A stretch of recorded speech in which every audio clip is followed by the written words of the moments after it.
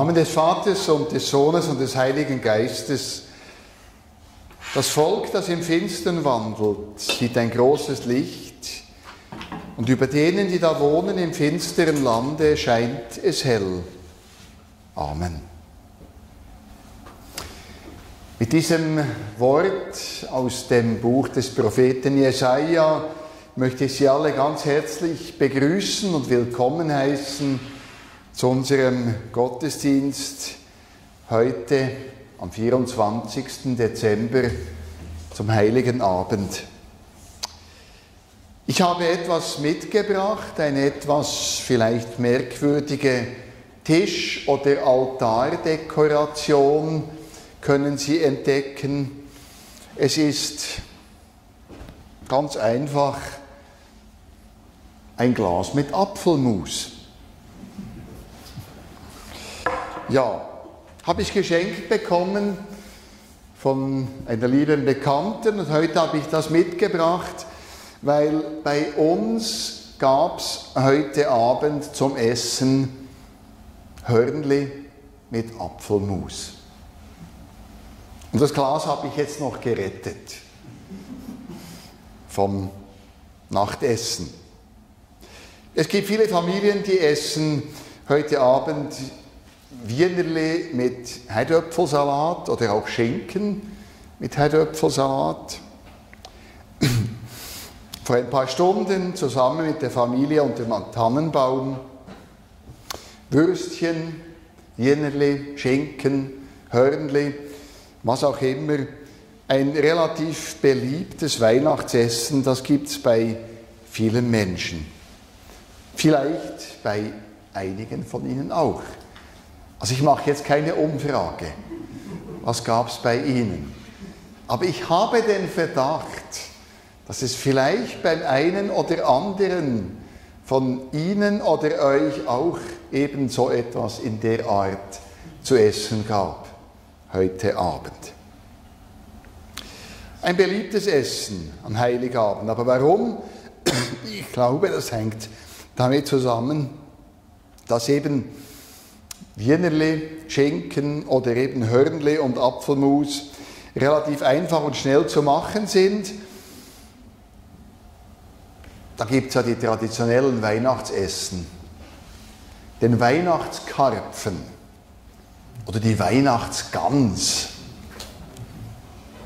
Also wer das hinkriegt, heute Abend noch, eine Gans zu kochen, nebst allem anderen, was da noch ansteht, Baum schmücken, Geschenke fertig einpacken, die letzten Einkäufe machen und, und, und. Und dann muss man um 22.30 Uhr noch in der Kirche sein. Und da soll noch eine Gans hineinkommen. Ganz, ganz geht ganz nicht. Also irgendwie. Und das Ganze müsste auch noch gelassen und gut gelaunt und mit heiterer Miene sein, weil bitte ist, ja, ist ja Weihnachten. Wir haben uns ja alle gern. Es ist ja schön miteinander. Ähm, perfekt am besten. Und da soll ja nichts die Stimmung trüben. Und deshalb wird es in vielen Stuben heute Abend auch so ein Festmahl geben oder wer hat es gegeben? Die besagte Gans oder alternativ auch das Chinoise wird in mancher Stube zu finden sein. Also wenn Sie das heute hingekriegt haben, herzlichen Glückwunsch. Ich hätte das nie geschafft. Also lassen wir das mal so stehen und schauen wir, wie wir das zum Weihnachtsevangelium hinkriegen. Ich habe, als ich den Gottesdienstplan, den Musikerinnen, Musikern und der Siegeristin geschickt habe, habe ich geschrieben, wir machen heute einen kulinarisch-theologischen Zugang zum Weihnachtsevangelium. Lassen Sie sich überraschen. Herzlich willkommen zu unserem Gottesdienst und fühlen Sie sich wohl hier. Wir singen miteinander unter der Nummer 394 die Strophen 1 bis 3, vom Himmel hoch, da komme ich her. der Engelchoral, das Engellied zum heiligen Abend.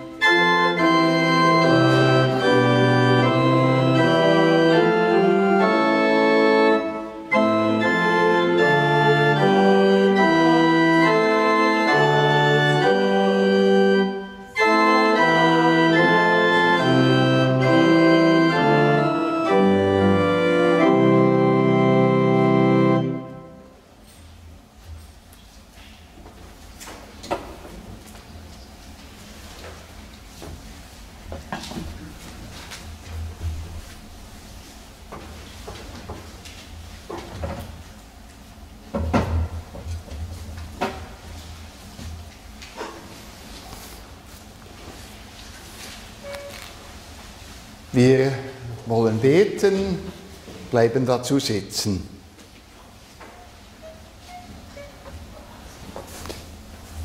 Gott in einem Kind bist du Mensch geworden, bist uns erschienen. Im Gesicht eines Kindes erkennen wir dich. Nicht groß, nicht mächtig, sondern ärmlich, und klein, beiläufig kommst du vorbei,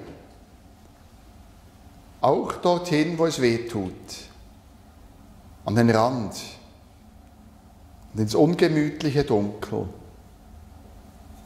Du kommst zu uns, genau dorthin, wo es weh tut. Und dafür danken wir dir.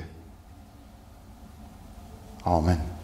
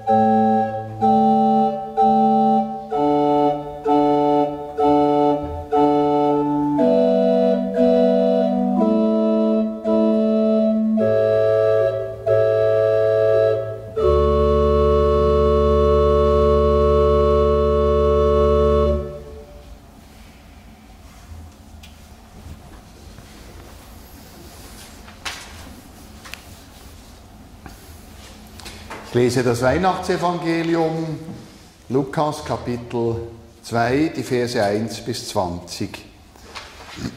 Zu jener Zeit ordnete Kaiser Augustus an, dass alle Menschen in seinem Reich gezählt und für die Steuer erfasst werden sollten.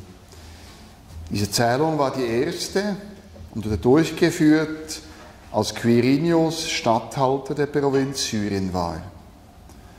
Und alle gingen hin, um sich einschreiben zu lassen, jeder in die Heimatstadt seiner Vorfahren.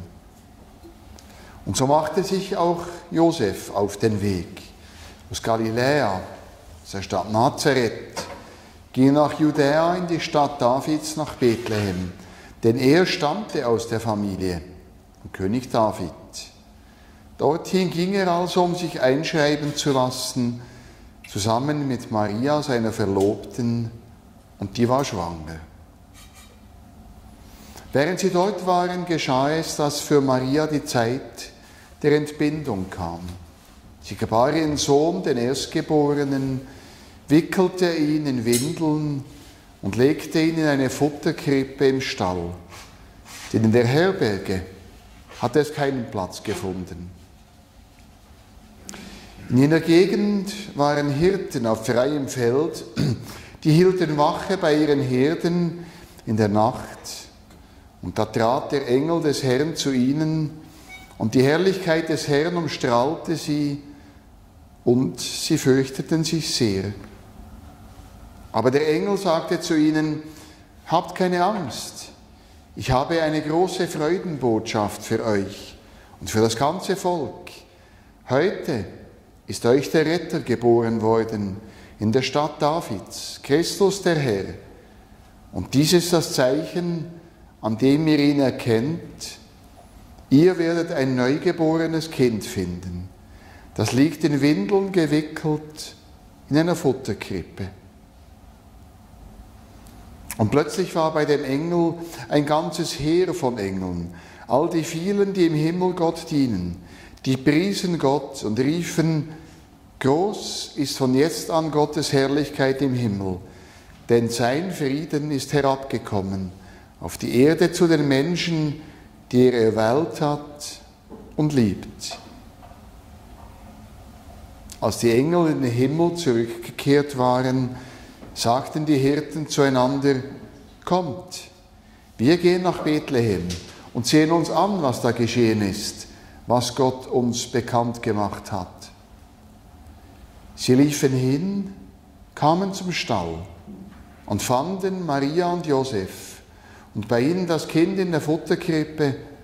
Und als sie es sahen, berichteten sie, was ihnen der Engel von diesem Kind gesagt hatte. Und alle, die dabei waren, staunten über das, was ihnen die Hirten erzählten. Maria aber bewahrte all das Gehörte in ihrem Herzen und dachte immer wieder darüber nach.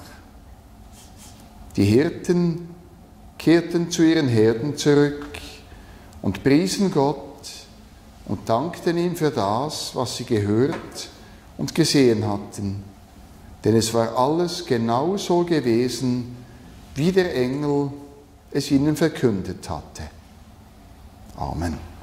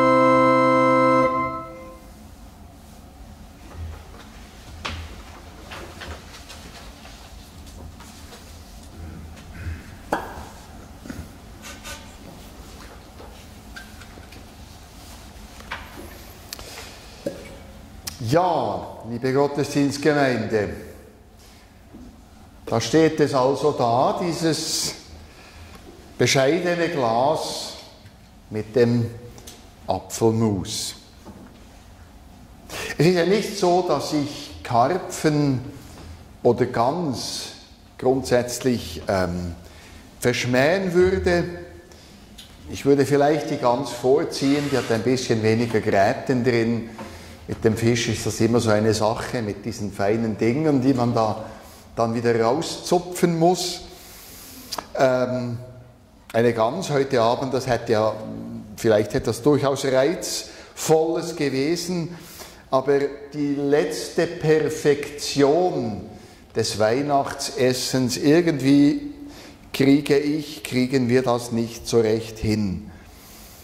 Und ich weiß nicht, wie es bei Ihnen gegangen ist, vielleicht unter dem Baum waren nicht alle ganz gleich gut gelaunt. Ja, jetzt kann man sich fragen, ist das schlimm, wenn es an Weihnachten nicht ganz so super läuft, wie man sich das wünscht, wenn nicht alle mit glänzenden Augen unter dem Baum sitzen, wenn es für die Gans nicht reicht, sondern eben vielleicht nur für Wienerli und Heidöpfelsalat oder Hörnli und Apfelmus. Äh, ist das schlimm? Nein, ich meine eigentlich nicht. Ich glaube auch, wenn Weihnachten etwas einfacher, etwas weniger perfekt daherkommt, ist das völlig okay. Schließlich war ja Weihnachten, wir haben die Geschichte gehört, Weihnachten bei seiner Uraufführung vor gut 2000 Jahren auch nicht gerade ein Traum aus Heiterkeit, Engelshaar und Gänsebraten. Ja, da gab es nicht mal Hörnli und Öpfelmus, schlussendlich. Ähm, Gott hat sich einen Ort ausgesucht, um Mensch zu werden, ähm, der jetzt nicht einen wirklichen großen Glamourfaktor aufwies. Ungemütlicher Stall, kein Bett, Schlafen im Stroh, haben Sie es mal versucht? Schlafen im Stroh. Ja, also wenn man eine Wolldecke hat, dann geht es ja noch. Aber ohne, dann ist das einfach ziemlich unangenehm, weil das sticht einfach und ist furchtbar. Und dann hat es noch so stinkende Tiere ringsum. Ochs und Esel, ja, das ist ja ikonografisch ganz spannend. Aber Sie wissen, wie diese Tiere riechen. Und da drin eine Nacht verbringen. Und da drin ein Kind gebären. Macht wirklich keinen Spaß.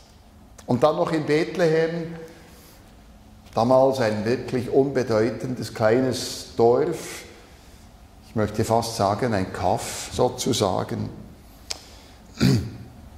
Das mit Beschau Heimeligkeit und Beschaulichkeit, mit der wir uns um unsere Tannenbäume setzen und unsere Zähne in den Gänsebraten schlagen, herzlich äh, wenig zu tun. Und wenn eine Frau in den Wehen liegt,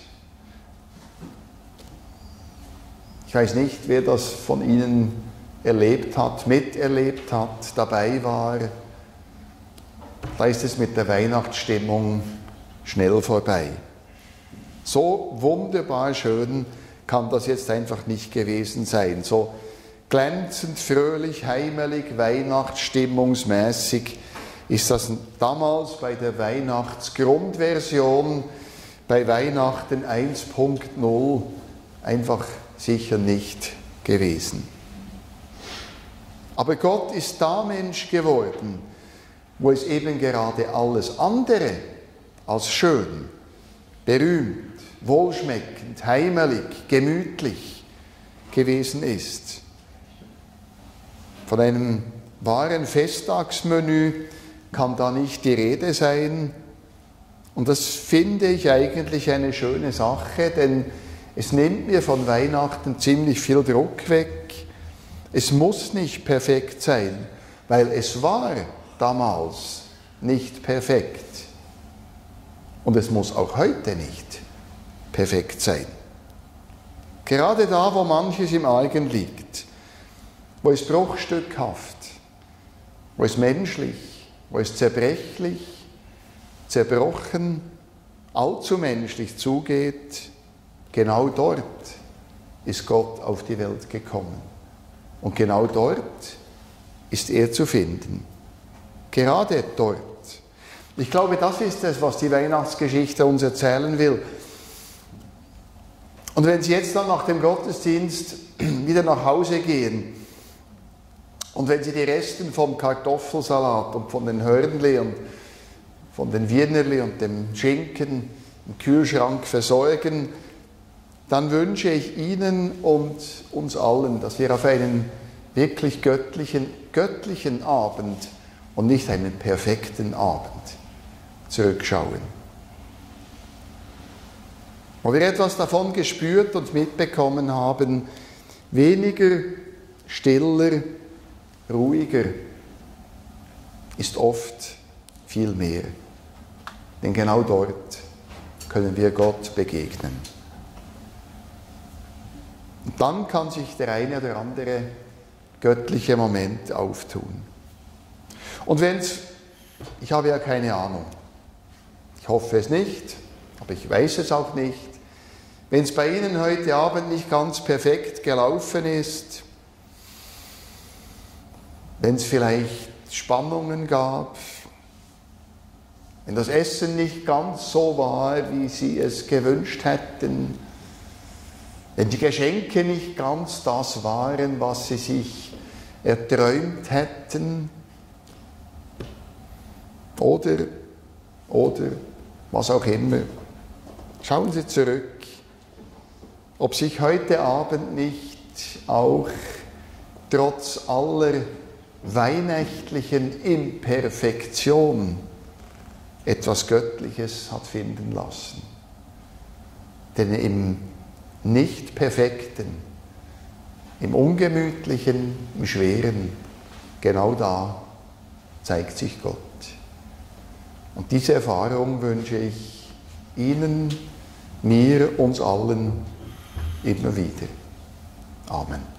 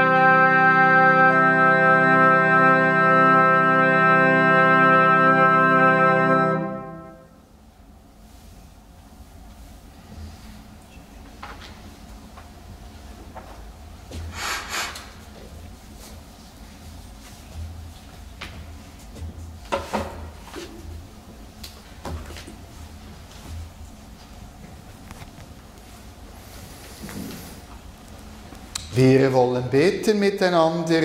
Ich bitte Sie dazu aufzustehen.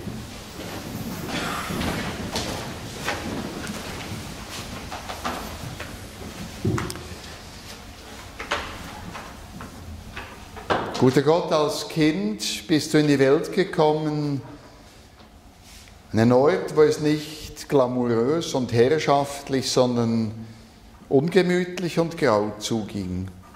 Und genau diesen Ort hast du erhellt mit dem Lachen eines Kindes. Und so bitten wir dich, komm auch dorthin, wo wir etwas mehr Licht und Wärme vertragen können.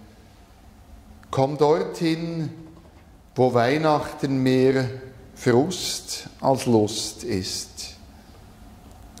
Komm zu den Menschen, die uns lieb und wichtig sind. Erhalte sie gesund und munter und hilf ihnen und uns, Krankheit, Sterben und Tod zu tragen. Komm auch zu denen, die uns fremd sind. Mögen auch sie satt werden in diesen Tagen und möge auch ihnen gegeben sein, was immer ihnen fehlt.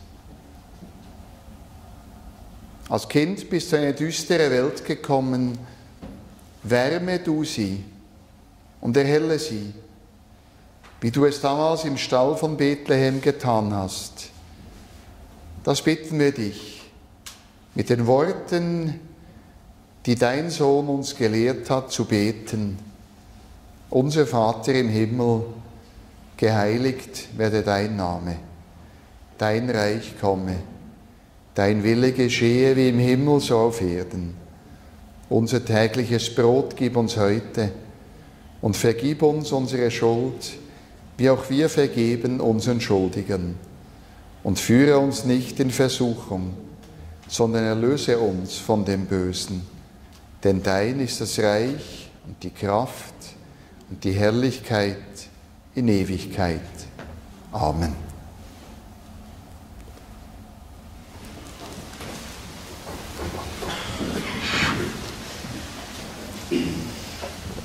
O du Fröhliche singen wir miteinander unter der Nummer 409 die drei Strophen.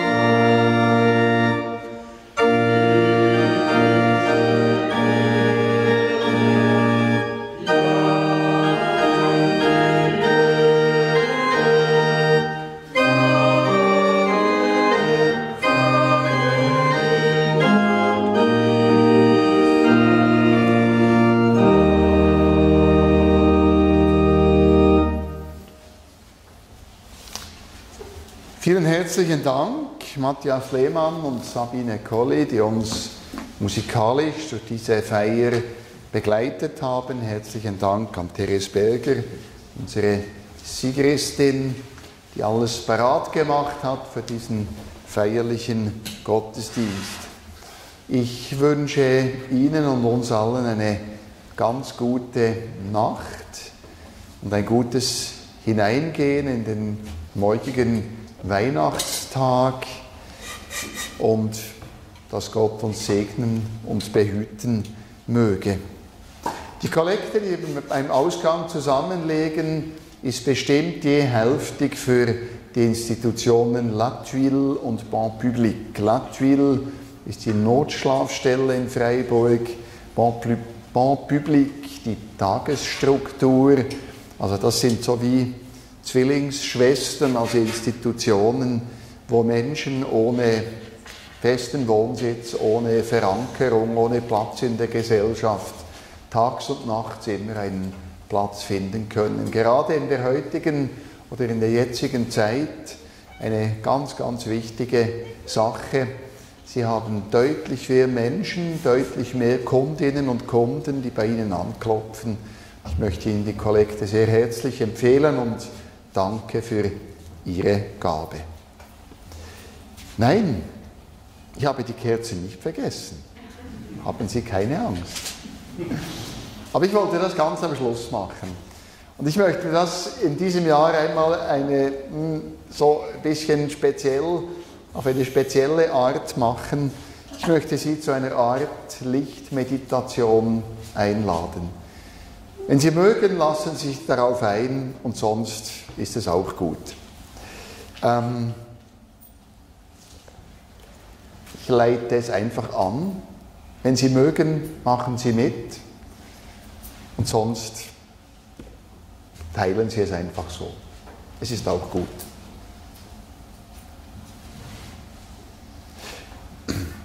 Schließe die Augen. Atme ruhig aus und ein und aus und wieder ein. Stelle dir ein helles Licht vor. Ein warmes Licht. Es breitet sich in deinem Körper aus, in deinen Armen, in deinen Beinen, in deinem Herzen. In dir ist es ganz hell, ganz warm. Spürst du es? Gott ist mein Licht. Ich fürchte mich nicht. Sprich diesen Satz nach, leise nur für dich. Gott ist mein Licht, ich fürchte mich nicht.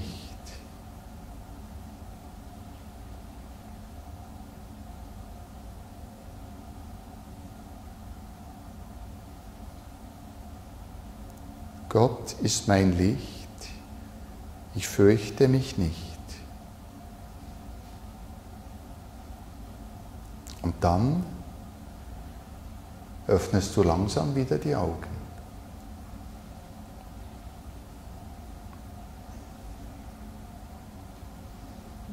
Guter Gott, verborgen und doch so nah, für uns Menschen immer da, wie das helle Licht, das leise zu uns spricht, dass du bei uns bist.